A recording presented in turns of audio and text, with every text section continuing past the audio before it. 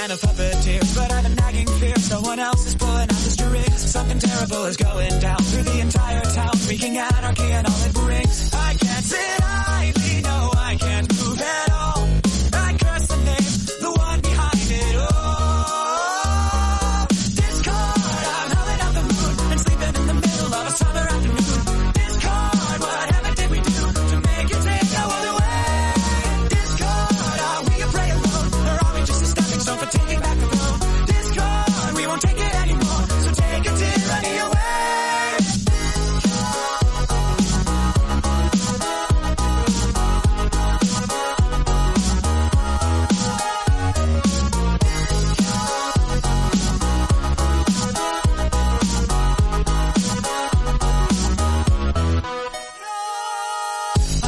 Changing status quo, but not in letting go. Now the world is being torn apart. A terrible catastrophe, played by a symphony. What a terrifying